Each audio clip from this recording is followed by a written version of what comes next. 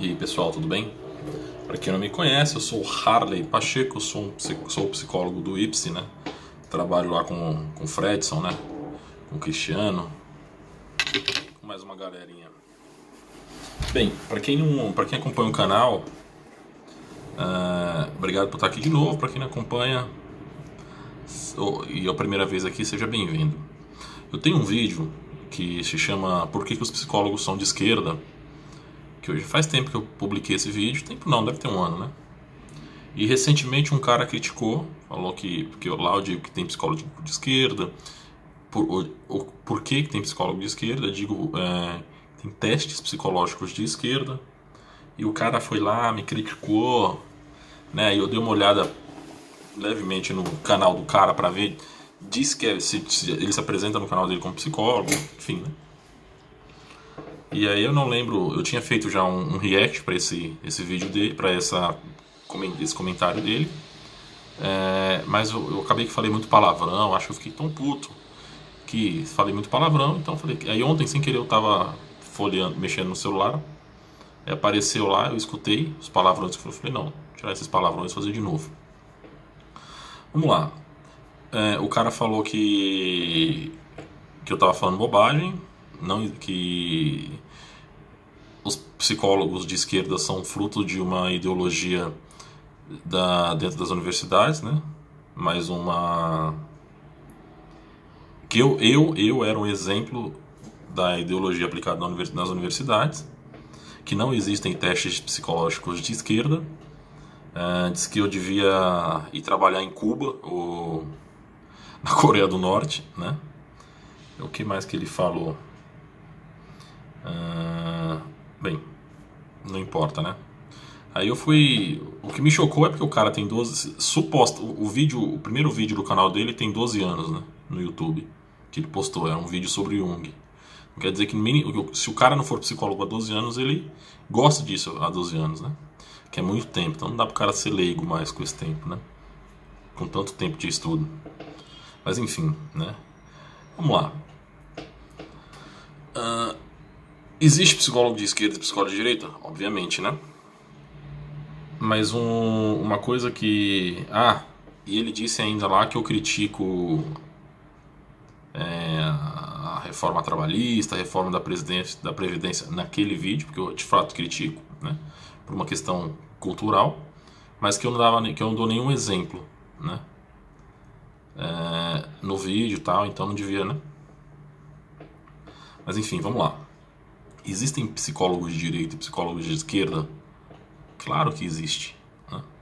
Existe teste psicológico de direita e teste de esquerda? Não.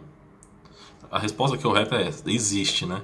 Mas na verdade não existe mesmo. Talvez é, o, o cara lá de repente não, não soube nem se expressar. Não existe, por quê? Na verdade, é a palavra, me fugiu a palavra agora.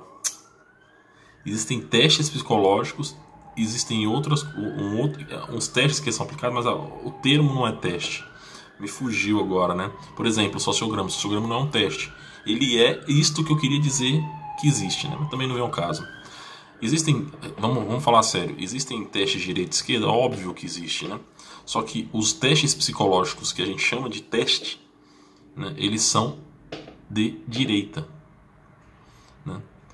Uh, esses outros, vocês vão entender no decorrer do vídeo por que eu estou dizendo isso agora. Vamos lá. Primeiro, essencialmente, vamos lá, essencialmente, é, a psicologia nem trata de direita ou esquerda, porque esses são títulos, né, são termos especificamente de economia né, e de política. Né. Uh, psicologia não trata disso, não é um objeto de estudo da psicologia. Tá? A gente está falando disso agora no vídeo, porque é como se fosse um, um TCC, uma monografia, sei lá, né? ou um artigo. Quando você vai citar alguma coisa que não tem referência, que não é diretamente que não é do seu objeto de estudo, você pode citar, mas tem que explicar porque você está citando uma coisa que não tem nada a ver, né? E o porquê que eu estou falando de, de esquerda ou de direita nesses vídeos? Porque é um negócio que está acontecendo no Brasil e a gente vê um fenômeno social claro, né? Então faz sentido a gente falar sobre isso, né? Mas vamos lá.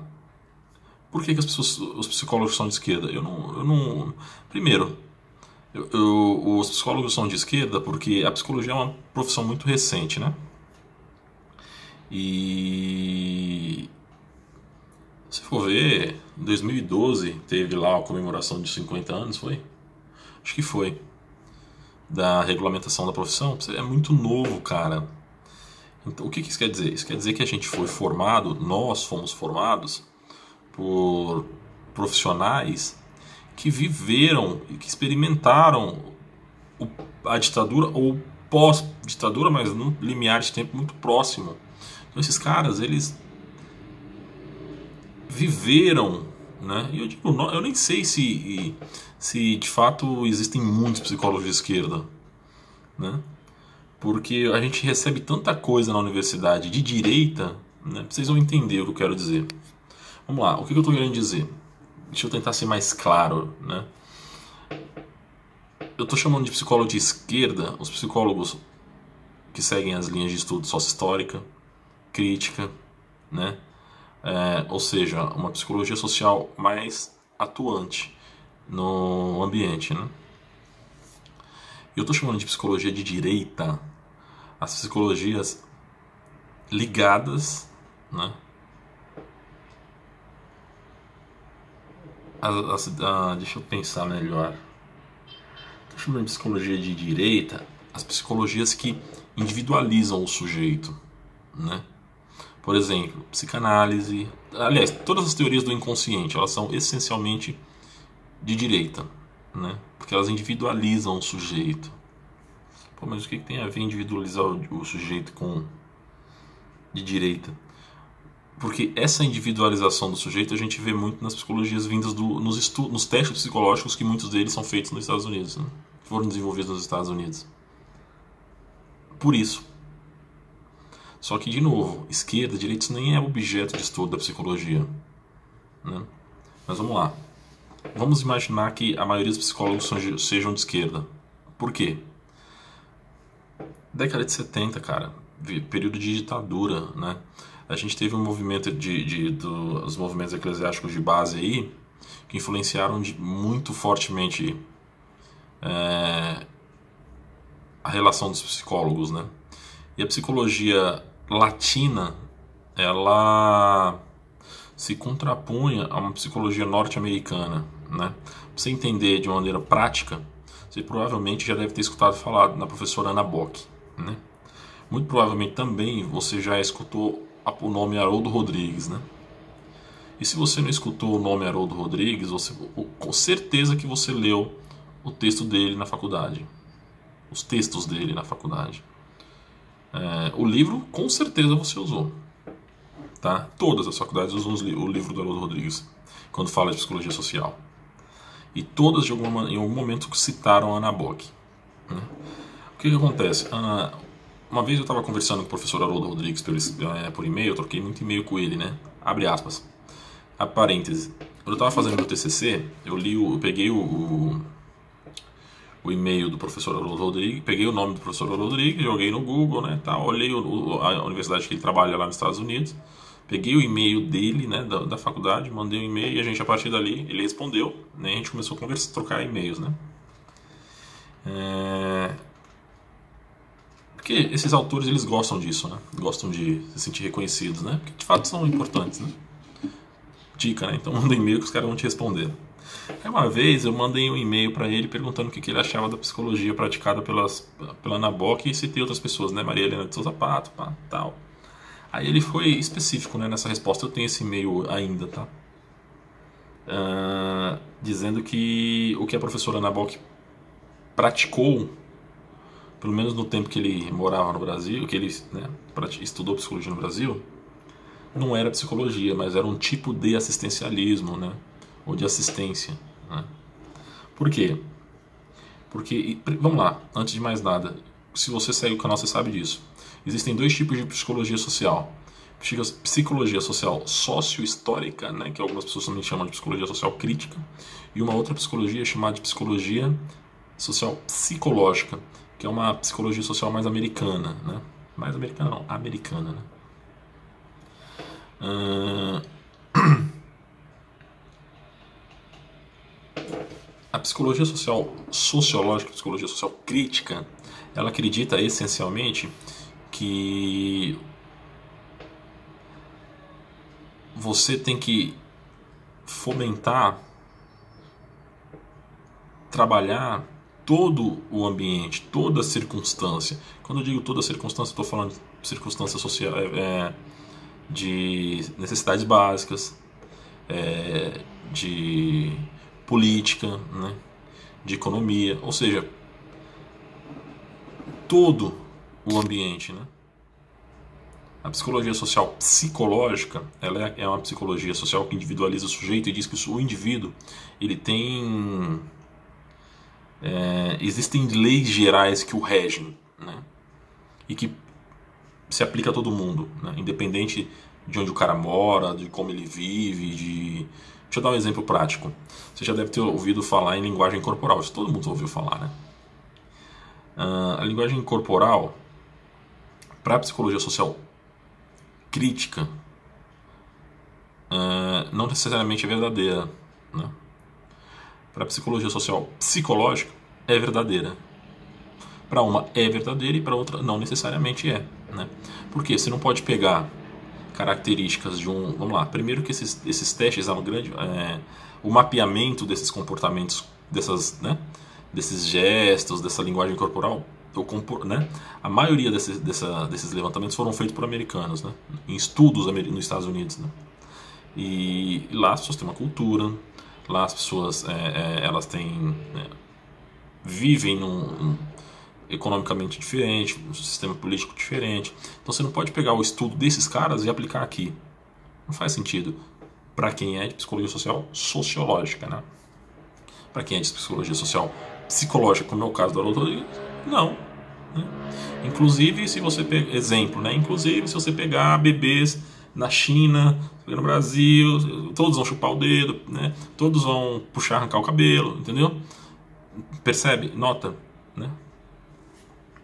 Então, existe no, no início de tudo essa divergência de objeto de estudo e de sujeito, né? Divisão de mundo.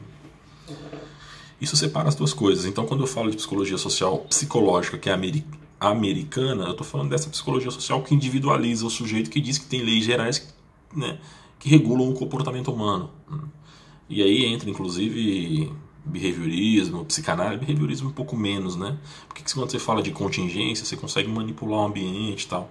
Né? Mas, é, quando você fala dessas teorias da, da do inconsciente todas individualizam o sujeito né? e essa e particularmente essa é a minha maior crítica né? Essa questão de estabelecer relação de causa e efeito entre fenômeno para mim isso não embora o behaviorismo faça isso também só que de uma maneira diferente né?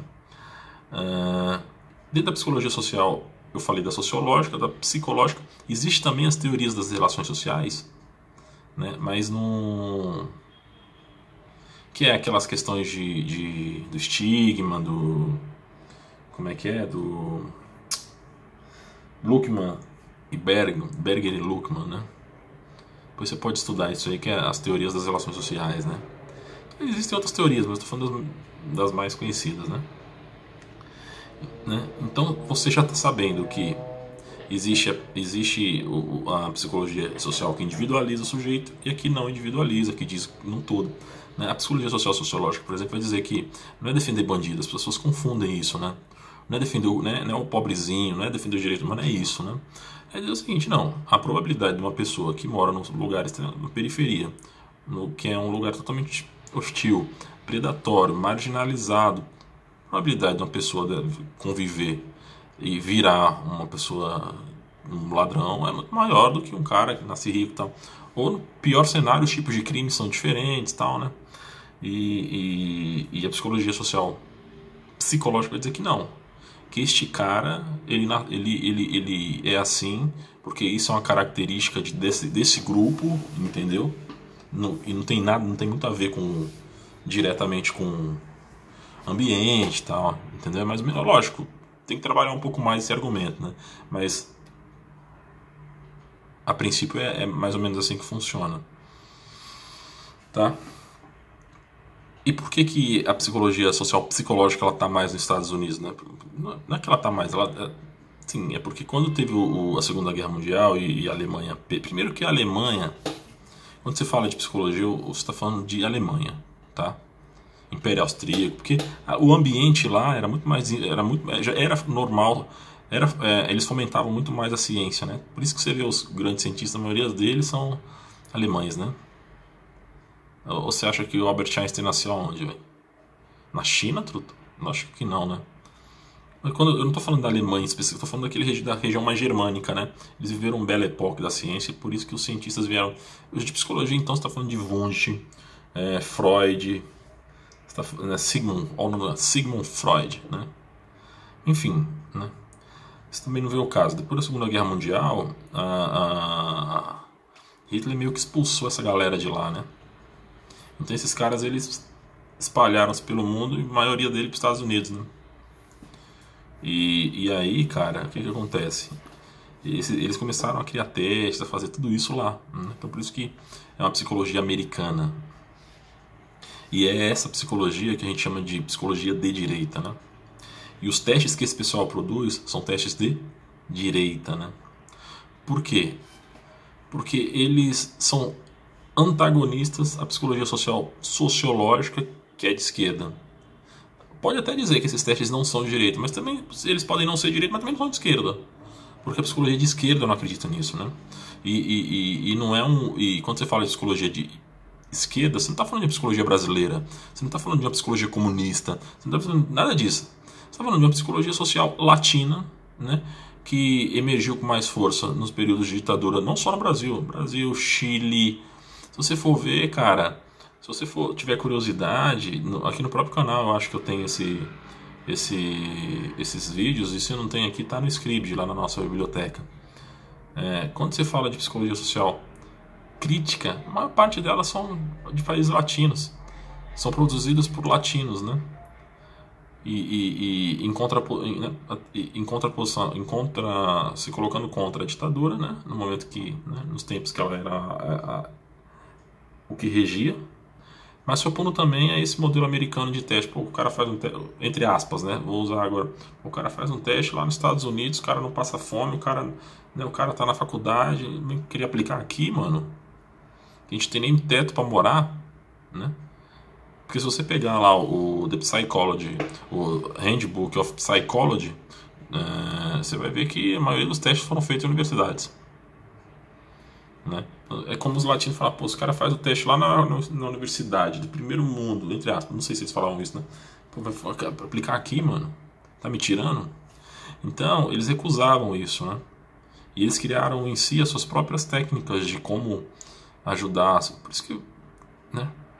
É, de como reger, de como trabalhar dentro do, dessas, desses ambientes, né? Né? Se você for ver aí, cara, a psicologia social, sociológica ela foi muito atuante, né? E assim. E é isso, isso cara, moral da história. Tem psicólogo de direitos que tem tanto da visão política, tô falando, tem, existem, é que existe uma diferença aqui. Existe psicólogo de esquerda e direita? Sim. Porque aí eu estou imaginando que ele está se pondo a uma posição política. Mas existe psicologia de direita e de esquerda, do ponto de vista de objeto de estudo, também digo que tem. E não é ideologia de gênero, porque ideologia é outra coisa. Ideologia, eu me arrisco a dizer que eu fui o primeiro cara no YouTube, pelo menos em português, que falou de ideologia. Com este termo, acho que foi o primeiro ou segundo vídeo do canal. O canal acho que foi criado em 2000 e... não lembro, mas foi 2000, acho que 2014, 2013, quando criei, a gente criou esse canal. Cara, eu me dizer que eu fui o primeiro cara que falou em, em ideologia antes de Dilma, antes de Bolsonaro, dessa pessoa toda aí falar ideologia de gênero. Cara, ideologia não é nem isso que esses caras falam. Ideologia é outra coisa, né? Você quer saber o que é ideologia? Assiste o vídeo aí no canal, procura aí que deve ter. É, deve ter, não, tem, né? Te fala de, de ideologia. É, e também, se você puder, ler dois textos. São textos pequenos, né? São grandes não, acho que são quatro páginas, cinco páginas cada é, é, aparelho de repressão do Estado, tá? E outro texto é aparelhos ideológicos de repressão do Estado. Aí você vai entender o que é ideologia. Não tem nada a ver com o que esses caras estão falando, velho. Tem nada a ver. Você quer aprender um, ideologia? Vai ler, ler sabe o que? É, a teoria da pseudocultura do Adorno. Entendeu?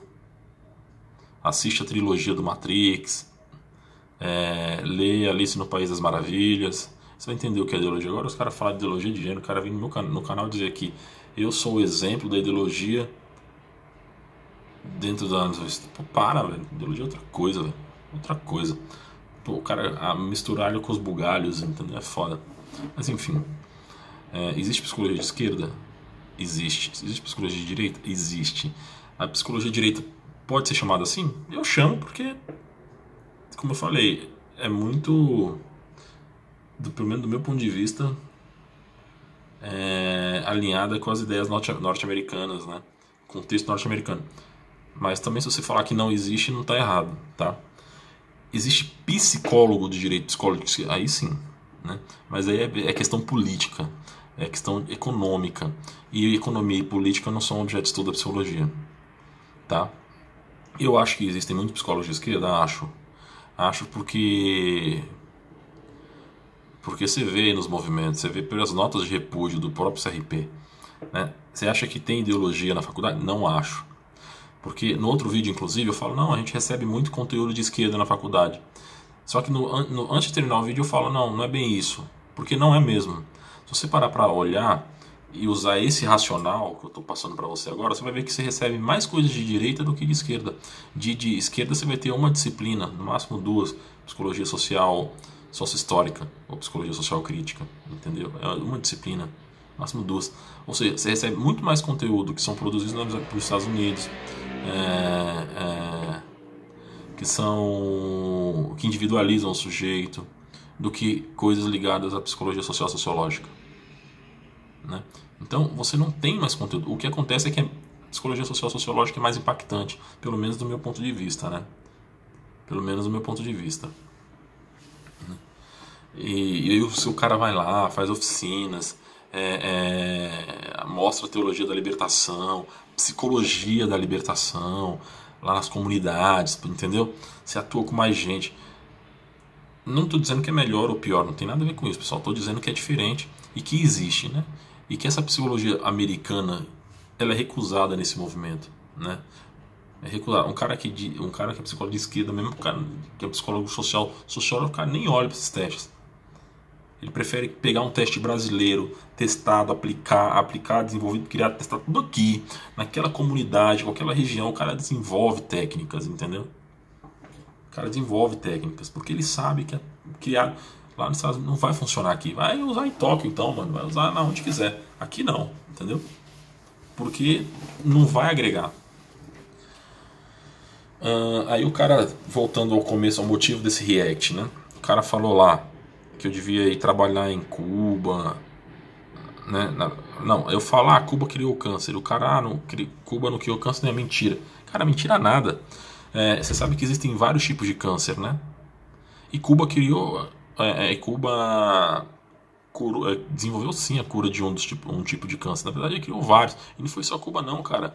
Vários outros países, várias outras pessoas importantes criaram a cura do câncer a, a, a, o câncer de pele, por exemplo. Hoje em dia quase ninguém morre disso. Ou morre. Okay, eu, não, eu ia fazer, falar um negócio aqui, mas eu blasfemar. Vou fazer uma outra piada. Acho que foi quem? Foi você, cara, que criou a cura do teste de, do câncer de pele? Não, né? Foi alguém que cortou, a, que entendeu que tinha que aplicar quimioterapia naquela região, cortar em volta, né? Ou seja, é porque a gente quando fala de câncer já, já pensa no câncer que vai matar. Mas existem tipos de câncer. E Cuba sim foi um dos primeiros a, a, a, a, criar cura de câncer. Se você for entrar lá no bagulho da ONU lá, eu vou deixar o link aqui no canal, se, se eu tiver tempo, né? De, dos tipos de cura, de, dos tipos de câncer que cura já, que em Cuba já não tem. Aliás, é, são tratáveis, né? Não tem, é, é bobagem, são tratáveis. Uh, eu estou citando esse do, do, de pele porque é o mais óbvio, né? É o mais simples de você ver, né? Mas enfim. Uh, aí o cara, ah, mas Cuba não ganhou prêmio Nobel. Cara, você acha mesmo que Cuba vai ganhar um prêmio? Você acha mesmo que a Venezuela. prêmio Nobel ele dá um prêmio em dinheiro para o ganhador, tá? Só que o americano não pode, é um prêmio, né, quase que exclusivamente da Academia Americana, né? Você acha mesmo que o americano vai dar dinheiro para cubano? Legislação, mesmo que pudesse, que quisesse, não ia dar, porque a legislação americana não deixa eles fazerem transações comerciais de nenhum tipo, nem de doação para cubano, para venezuelano, nada, não pode, tem embargos para isso, né? Então o cara quando fala, ah, cubano ganhou um Oscar, não, o cara não conhece, não sabe nem o que está falando, né? E ele falou que eu devia trabalhar em Cuba, na Coreia do Norte. Vamos lá. Eu gostaria muito de conhecer a psicologia cubana. Eu não conheço, né? Gostaria muito de conhecer da Coreia do Norte, que deve ter, né? Assim como eu gostaria muito de conhecer a psicologia é, do Oriente Médio. Pô, pô, imagina, velho. O Oriente Médio é uma das maiores regiões do país. Que esses caras tratam a psicologia? Como que na Rússia os caras tratam a psicologia? Você acha mesmo que os caras vão usar teste americano lá? Pô, deve ser um negócio. Eu, eu particularmente, nunca li nada desses caras. Quando muito, muito eu li alguma coisa francesa, mas aí aquelas teorias das relações sociais é algo que não me encanta, né? Não nota aqui. Então, sim, eu se eu puder, eu vou até começar a estudar essas coisas assim, porque eu acho que deve ser muito interessante. E trazer isso para cá, né? Mas enfim, pessoal, o vídeo já tá com 27 minutos aí, vamos parar por aqui. Qualquer dúvida vocês deixam aí, beleza?